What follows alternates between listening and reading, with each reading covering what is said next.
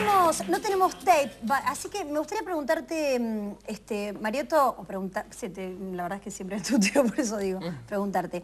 Este, las mm, presentaciones judiciales contra la ley de medios, en- ¿impiden la instrumentación de la ley? ¿En qué instancia está?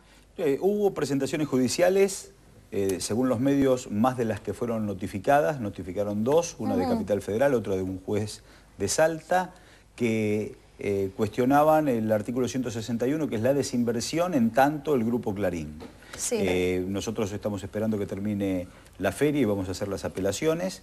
Y después, eh, según informaciones periodísticas, pero que no ha sido notificada, hubo una cautelar en la provincia de Mendoza que impedía este, el desarrollo normal de, de la ley. Pero digo, la autoridad de aplicación está esperando que se terminen de resolver esas instancias judiciales, No, la autoridad de aplicación lo que va a hacer es apelar en tiempo y forma las instancias judiciales. Mientras tanto, el los articulados de la ley están en vigencia, se están reglamentando muchos artículos, en breve vamos a tener esa reglamentación y se va a aplicar la ley de redifusión. Lo que pasa es que ese instrumento judicial está en línea con aquellas viejas...